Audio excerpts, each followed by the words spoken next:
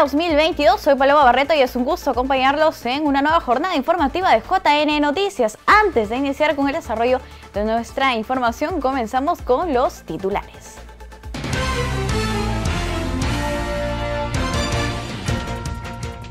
Si usted fue elegido miembro de mesa y no podrá asistir, deberá justificarse hasta el 27 de septiembre.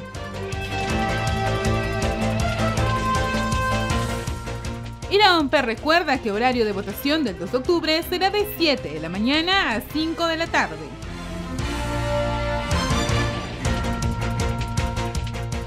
Y en esta edición conozca a los candidatos para la alcaldía de Los Olivos.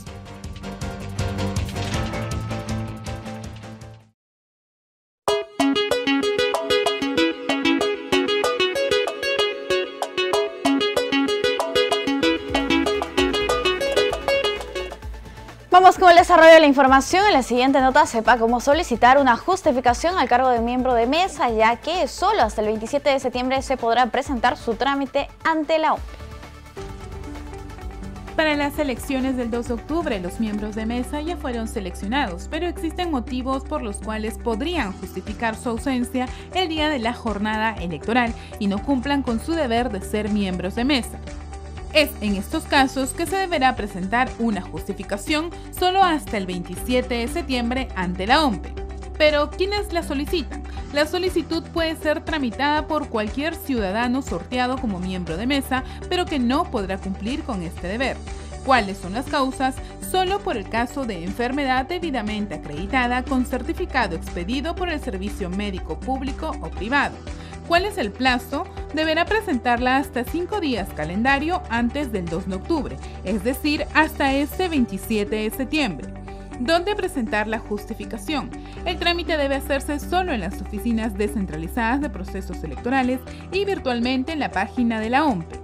Recordemos que según la Ley Orgánica de Elecciones, el cargo de miembro de mesa de sufragio es irrenunciable, salvo en los casos de notorio o grave impedimento físico o mental o ser mayor de 70 años. Y si usted aún no sabe si será miembro de mesa o no, podrá verificarlo ingresando a la página consultaelectoral.ompe.gov.pe y así el 2 de octubre acudir a su local de votación a ejercer la importante labor en las mesas de sufragio. Muy pronto serán los debates que organiza el Jurado Nacional de Elecciones a nivel nacional con motivo de las elecciones subnacionales. Por ello, hasta hoy se amplió el plazo para que formulen la pregunta ciudadana a los candidatos y candidatas a los gobiernos regionales y a la Municipalidad de Lima Metropolitana. Hasta hoy la ciudadanía podrá formular preguntas a candidatos para los debates electorales. Las escogidas serán leídas durante los debates convocados por el organismo electoral. El propósito de la campaña Pregúntale a tu candidato es contribuir al acercamiento entre las organizaciones políticas y la ciudadanía en el contexto del proceso electoral e incentivar a la formación de una ciudadanía informada que redunde en un voto responsable. Las preguntas se recibirán a través de la web de Voto Informado, también se tendrá opción en participar en la campaña mediante el chatbot del JNE. Cabe resaltar que solo participarán aquellos ciudadanos y ciudadanas que figuren en el padrón electoral y podrán hacerlo únicamente a través del formulario virtual. La Oficina Nacional de Procesos Electorales informa a la ciudadanía que el horario de votación del 2 de octubre será de 7 a 5 de la tarde. Sin embargo, recomendó a los ciudadanos evitar aglomeraciones y votar en un horario escalonado, es decir, de acuerdo al último dígito del DNI.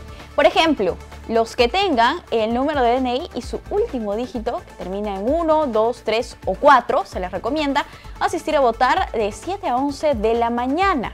En el caso del último dígito 5, 6, 7, 8, 9 o 0, se les recomienda asistir a votar de 11 de la mañana a 5 de la tarde. Y recuerda que de 2 eh, de la tarde a 5 de la tarde es el horario recomendado para que los adultos mayores, embarazadas, personas con discapacidad u otro tipo de vulnerabilidad eh, puedan acudir a las urnas. Estas son recomendaciones que brinda la Oficina Nacional de Procesos Electorales para que todos votemos de manera segura. José Naupari, asesor jurídico del Jurado Nacional de Elecciones, indicó que aún es posible excluir a candidatos hasta el primero de octubre, un día antes de la elección regional y municipal. A continuación, los detalles. El experto en temas electorales y asesor del Jurado Nacional de Elecciones, José Naupari, explicó que en el ámbito de las elecciones aún es posible excluir candidatos y candidatas hasta un día antes de la elección por supuestos muy acotados. Aún es posible excluir hasta un día antes de la fecha de la elección eh, candidatos y candidatas, independientemente de la naturaleza del cargo al cual postule, pero por supuesto muy acotados. El primero es cuando una persona recibe una sentencia firme por interdicción, es decir, cuando una persona ya no tiene la capacidad para expresar su voluntad libremente, eventualmente un ludópata, un beodo, por poner algunos ejemplos. El segundo supuesto es que una persona recibe una sentencia condenatoria por calidad de cosa juzgada y que ponga pena privativa de libertad efectiva o suspendida por la comisión de un delito doloso. Y el tercer supuesto es que una persona pueda recibir una pena de inhabilitación para el ejercicio de los derechos políticos. Indicó que en el caso de las elecciones municipales las listas son cerradas y bloqueadas, por lo que si se excluye a un candidato, la lista queda afectada con la referida salida del aspirante, pero no se modifica el orden. Si es que se llega a excluir a un candidato o candidata alcaldesa, la lista sigue tal cual, sin el candidato alcalde. Cuestión distinta ocurrirá, o, ya estaríamos en un escenario distinto, si es que esa lista gana. Pero lo cierto es que es más, podríamos tener un, escenario crítico en el cual hay una lista, por ejemplo, de un candidato alcalde y cinco regidores, y al final terminan excluyendo al candidato alcalde y a, los, y a, cuatro de los cinco regidores. Ya, esa lista sigue con ese único candidato a regidor que tendrá la condición de candidato a regidor. No es que suba ni siquiera el candidato a regidor 2 al candidato a regidor 1. Se mantienen en sus mismas posiciones porque va a tenerse que esperar cuál va a ser el resultado de la elección. El experto en temas electorales explicó además que en el ámbito regional los ciudadanos tendrán que marcar o votar por una fórmula de gobernador y vicegobernador y en otro espacio por el consejero regional. Nuestros amigos, sobre todo desde el interior del país que, nos ven, eh, ellos, por ejemplo, tienen que votar por una fórmula de gobernador y vicegobernador regional y van a tener que marcar también en otro espacio por el consejero regional. Porque recordemos que en una elección regional, el, digamos, cada provincia se constituye en un distrito electoral, muy similar a lo que ocurre con las elecciones congresales. Por ejemplo, las elecciones regionales son mucho más cercanas a las elecciones generales, porque uno vota por una fórmula en un, en un lugar y por eh, los candidatos, por decirlo de alguna manera, a, a consejeros regionales en otra. Vamos a revisar los candidatos para la alcaldía de Los Olivos. Tenemos 11 candidatos en esta ocasión. Recordemos que esta es información que nos proporciona la plataforma Voto Informado. Revisemos el primer candidato es Arturo Alejandro Cutipa Camag de Renovación Popular el segundo candidato, Ricardo Luis Grados Guevara, del partido Frente de la Esperanza. También encontramos a Viberto Venerando Castillo León de Somos eh, Perú, este partido democrático. Asimismo, a Ever Edgardo Mejía Pejerrey del Partido Patriótico del Perú. Estos son los primeros cuatro candidatos. Ahora encontramos a Pedro Moisés del Rosario Ramírez de Alianza para el Progreso. Aquí más vemos a Julián Ramos Méndez de Fuerza Popular. Del mismo modo encontramos a Hernán Ciro Pauyac Guamán del Partido Político Nacional Perú Libre y en octava posición a Luis Felipe Castillo Oliva de Podemos Perú. Estos son los primeros, los primeros ocho candidatos. Ahora vemos a eh, Hey Delberg, eh, Williams, eh, Davis, Suyón Díaz de Juntos por el Perú. Asimismo, encontramos a Alex Manuel Quispe Soto de Acción Popular y a Raiza Guadalupe Najarro de Sierra del Partido Morado, la última candidata para el distrito de Los Olivos. Esta es la información que proporcionamos. Ahora les mostramos un video elaborado por el Comité Técnico de Fact-Checking de nuestra institución. Hechos confirmados para ciudadanos bien informados.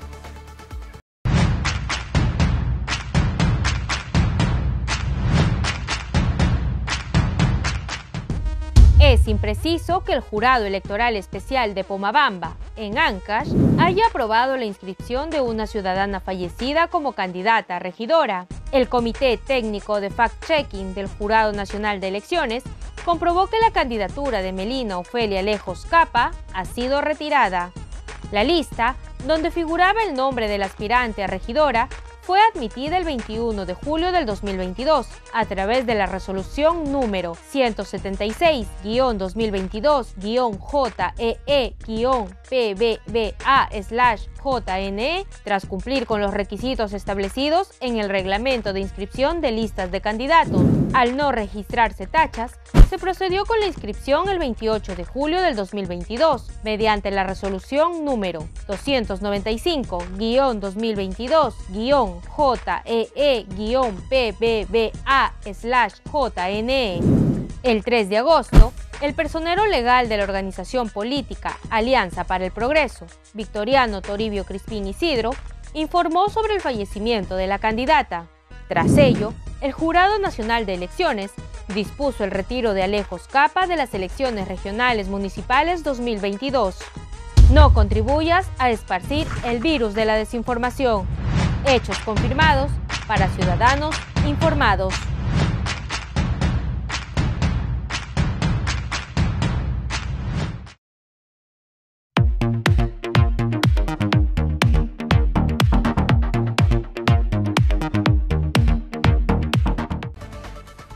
Hoy tenemos una entrevista sobre desinformación. Conversamos con David Hidalgo, él es director periodístico de Ojo Público, medio que coordina la red de verificación Amayuya. Vamos a conversar precisamente sobre este mal que aqueja en todos los procesos electorales de la región y, por qué no decirlo, del mundo. ¿Cómo está David? Bienvenido, muy, eh, bienvenido aquí a JN Noticias. Buenas tardes, muchas gracias por la invitación para hablar de este tema tan importante. Bien, eh, por favor, quedan ya pocos días para las elecciones regionales y municipales 2022. ¿Cómo observa la desinformación en nuestro país en el contexto electoral?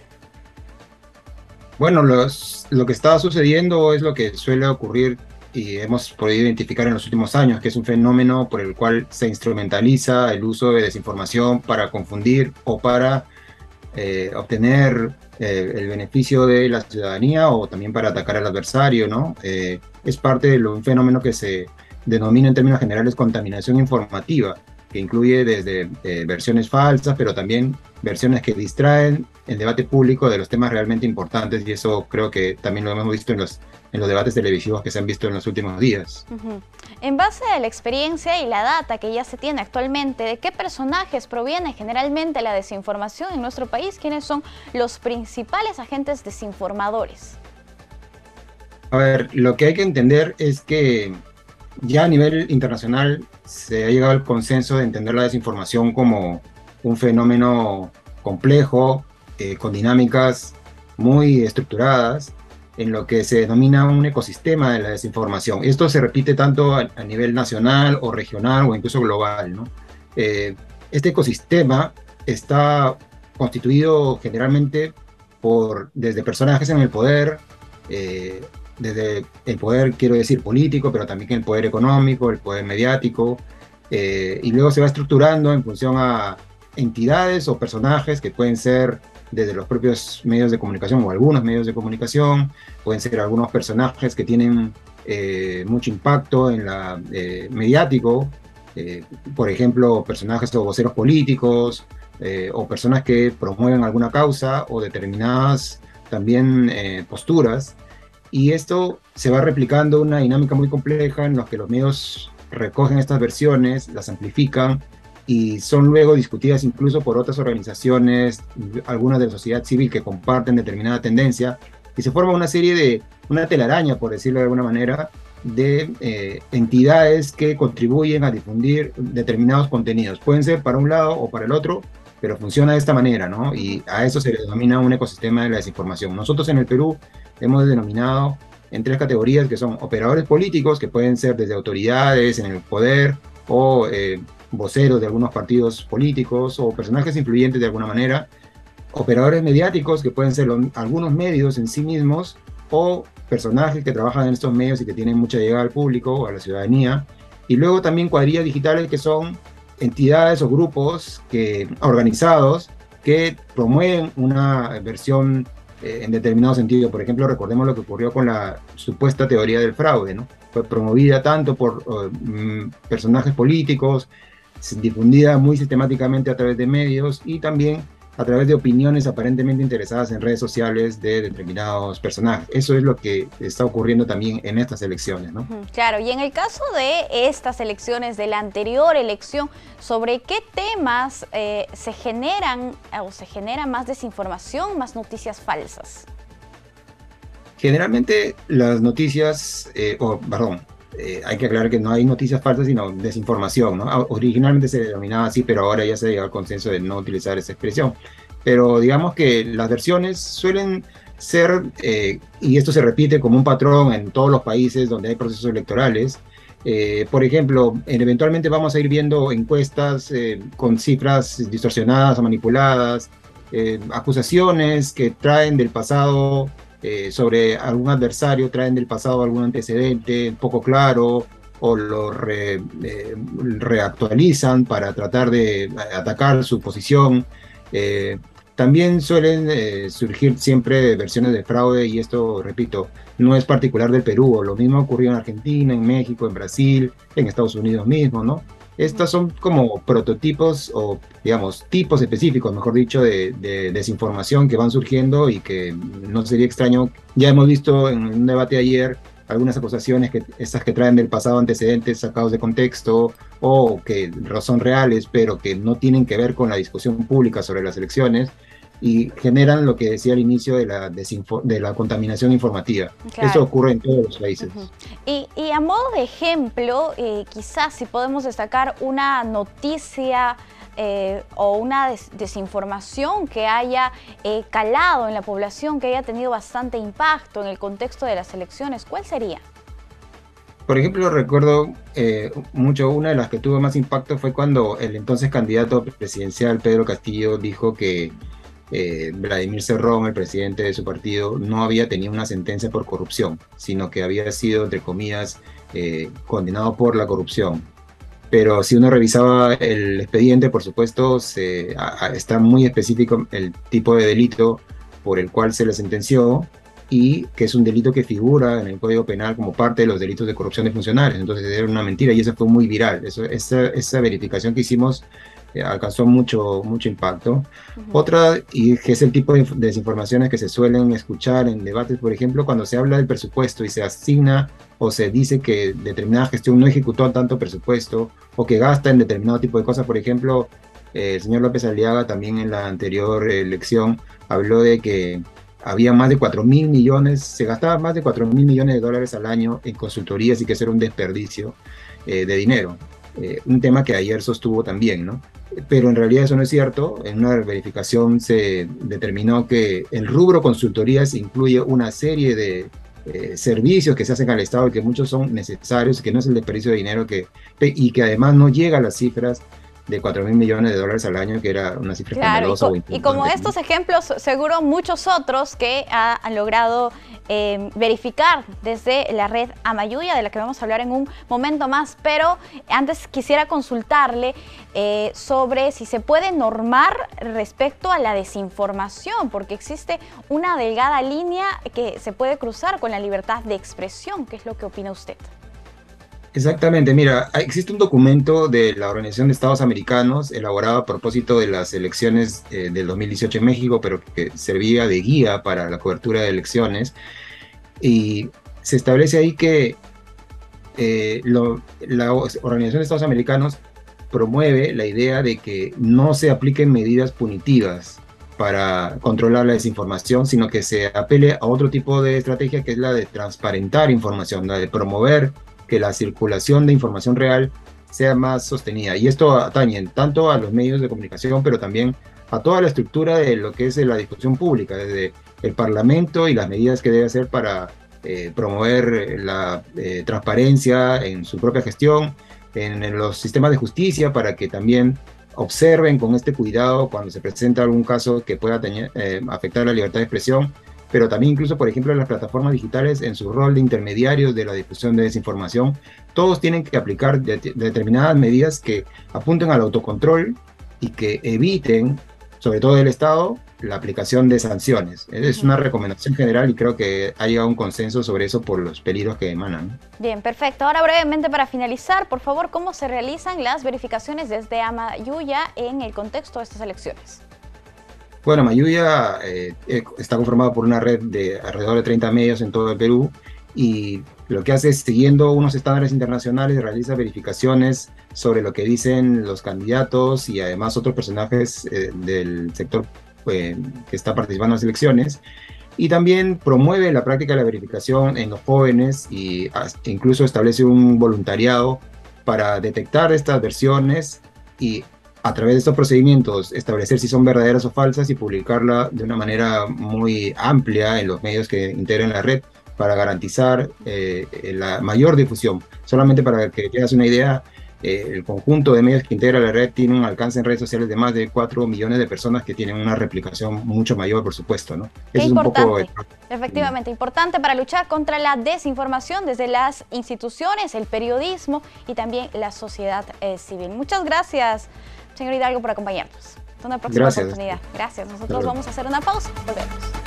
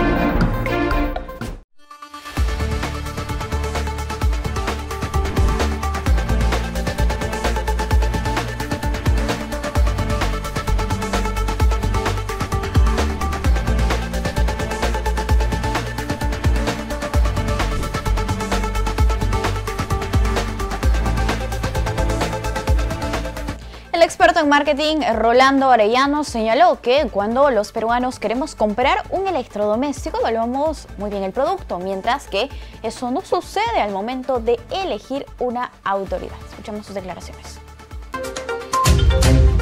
Hoy la mayoría de peruanos estamos desconcertados a la hora de emitir nuestro voto. Algunos se demoran mucho más en comprar un electrodoméstico que en pensar en elegir a una autoridad. Cuando nosotros nos queremos comprar un celular o un refrigerador, es evidente que empezamos primero a ver si este, este producto que vamos a comprar es capaz de cumplir lo que queremos. Por ejemplo, si es un refrigerador, lo primero que nos fijamos es si este puede capaz de enfriar y de mantener a, los alimentos que queremos guardar, o si es un teléfono celular, lo primero que buscamos es este celular es capaz de comunicarme bien, de recibir, de enviar bien las señales. Y esto no sucede en muchos casos de elecciones políticas. En este sentido, recordó a la ciudadanía que debemos elegir a una autoridad para que administre nuestra ciudad. Nosotros tenemos que empezar a, a ver que la sociedad es una sociedad que es mucho más que nosotros. Nosotros somos una partecita de la sociedad. No podemos solamente buscar elegir a aquello, aquella persona que cuide nuestros intereses puntuales, sino tenemos que ver a los intereses de todos. Y muchas veces nosotros mismos no somos los más representativos de lo que la sociedad necesita. Entonces, siempre tenemos que buscar a alguien que administre desde un punto de vista de grupo no solamente desde un punto de vista de lo que a nosotros nos conviene. Agregó además que los peruanos deben pensar en el bien común al momento de votar y no dejarse llevar por la emoción. El chatbot del Jurado Nacional de Elecciones permite conocer por WhatsApp las hojas de vida y planes de gobierno de los candidatos para las elecciones el 2 de octubre. A continuación, los pasos para usar esta herramienta. El asistente virtual chatbot del JNE, en alianza con WhatsApp, está disponible para toda la ciudadanía con el fin de que los electores estén informados y conozcan el perfil de sus candidatos para las elecciones regionales y municipales del 2 de octubre. Para usar esta herramienta, una vez que haya agregado el número 916-077-361, ingrese a WhatsApp y escriba Hola para iniciar el recorrido. Se desplegarán a continuación opciones en las que podrá seleccionar la hoja de vida o el plan de gobierno de un candidato. En el primer caso, podrá buscar la hoja de vida según el DNI o nombre y apellido del candidato de interés y para el plan de gobierno podrá recibir la información una vez elija la búsqueda por tipo de elección, ubigeo u organización política. Así aparecerán opciones también según el departamento de preferencia. Cabe precisar que a través del chatbot del JNE se puede acceder también a un verificador de noticias falsas que permitirá acceder a la información de una fuente oficial de la página web Voto Informado. La directora nacional de Educación e Información Cívica Ciudadana del Jurado Nacional de Elecciones saludó la implementación del chatbot del Jurado Nacional de Elecciones para que ciudadanos verifiquen información de sus candidatos en estas elecciones subnacionales herramienta de asistencia virtual eh, fortalece el rol cívico de los ciudadanos porque permite que toda la ciudadanía pueda participar de manera directa, informándose de todas las eh, opciones que nos eh, ha establecido este, esta herramienta virtual. Hay novedades también que tiene esta herramienta de chatbot, bot informado, que es que además de encontrar toda la información de más de 10.000 candidatos y candidatas eh, que postulan en este proceso electoral, también vamos a encontrar los planes de gobierno, así como sus resúmenes y eh, nuevas opciones, como la opción del verificador de noticias falsas, donde todos los ciudadanos vamos a poder verificar cuáles son estas noticias que el Jurado Nacional de Elecciones a través de su comité de fact-checking está eh, verificando permanentemente y una tercera opción que es que ya como bien saben se tienen los debates electorales en todo el país y todos los ciudadanos vamos a poder eh, preguntar de manera directa a través de esta herramienta eh, formular alguna pregunta a su candidato o su candidata y puedan eh, escuchar estas preguntas el día de los debates electorales que se van a organizar en todo el país para que los electores puedan ir a votar de manera informada este 2 de octubre. Gobierno oficializó ley de teletrabajo en el país. En la siguiente nota interesa cuáles son los beneficios que tiene desde ahora y qué derechos deben reconocer las empresas. La ley de teletrabajo fue publicada con la finalidad de regular el mismo, tanto en las entidades públicas e instituciones y empresas privadas, en el marco del trabajo decente y la conciliación entre la vida personal, familiar y laboral. La ley detalla que el teletrabajo será de carácter voluntario y reversible de forma temporal o permanente, total o parcial, además de flexibilizar la distribución del tiempo de la jornada laboral. Entre los derechos del teletrabajador está recibir los equipos, el servicio de acceso a Internet o compensaciones económicas, asimismo la compensación del consumo de energía eléctrica. También tendrá derecho a la desconexión digital, a la intimidad, privacidad de las comunicaciones y documentos privados del teletrabajador. Entre las obligaciones del empleador están entregar equipos y el servicio de acceso a Internet o asignar las compensaciones económicas por la provisión de estos al teletrabajador, además de la compensación del consumo de energía eléctrica. Asimismo, respetará la desconexión digital del teletrabajador. Además, capacitará al mismo en el uso de aplicativos informáticos, en seguridad de la información y en seguridad y salud en el teletrabajo, entre otros. Ahora vamos con las principales noticias internacionales. Adelante.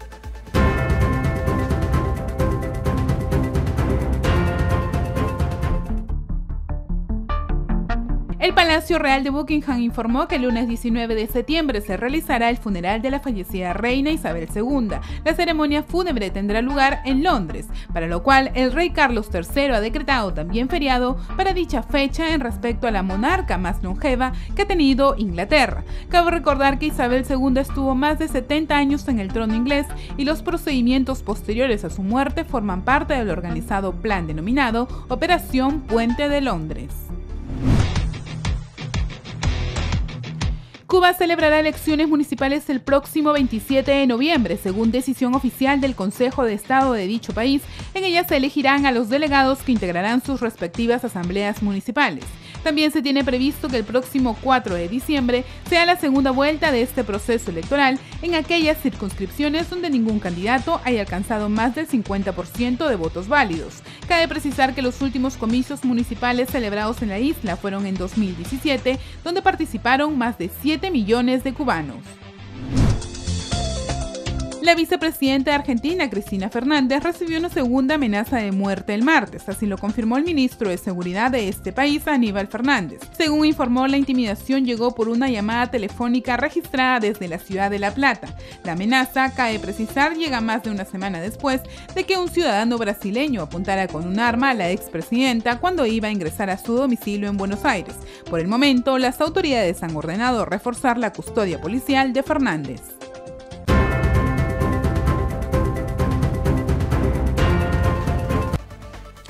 Llegamos al final del programa. Muchas gracias por acompañarnos aquí en el 516 de Movistar TV, las redes sociales de JNE, la señal de nuestros canales aliados y por la transmisión de la agencia de noticias Andina. Los dejamos con imágenes de Cajamarca.